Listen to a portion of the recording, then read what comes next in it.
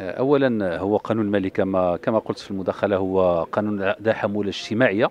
يعني يساهم في تحفيز الاقتصاد انعاش المقاولات ولكن عنده حمولة اجتماعية يعني القطاعات الاجتماعية أو التماسك والحمايه الاجتماعية في صلب هذا القانون. فبالتالي انعكس على أهم إجراءاته وأهم محاوره الأساسية.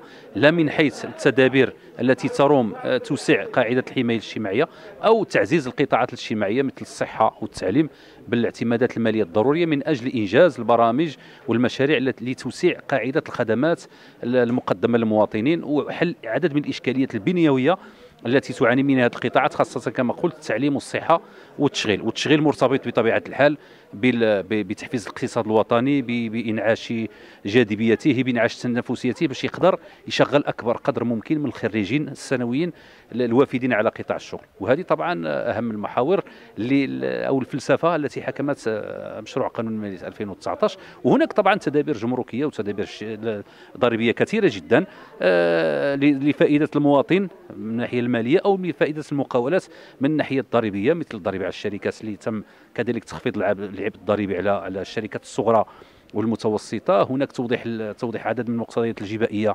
والجمركية لتبسيط المساطر لفائدة المقاولات. هناك إجراءات ديال ديال إلغاء آه، عدد من من من الضرائب القديمه الديون القديمة اللي كانت على عاتق المواطنين قبل سنة 2000 في حدود 50 ألف درهم لكل لكل فرد. فبالتالي هناك تدابير كثيرة جدا.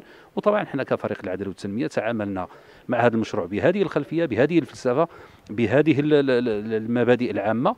وكان كان كانت مساهمة جيدة للفريق في إطار تجويد عدد من المحاور ديال هذا المشروع قانون المالي.